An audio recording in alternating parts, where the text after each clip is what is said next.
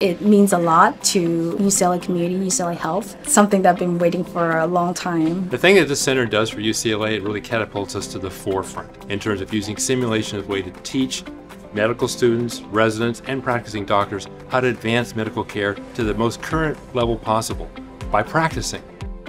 Surgery is a very physical, task-oriented thing. We have surgical simulators that we developed specifically to hone in your skills in a stressful environment. We should be able to have the trainee practice here for the first time instead of practicing on a patient. The unique thing about us here at UCLA is that medical students get access to some of this really top tier surgical education. To be able to do it in a space like this is just absolutely incredible with the technology that we have. This will be a major transformation for our campus, for UCLA, and will be a magnet for others to join us at UCLA.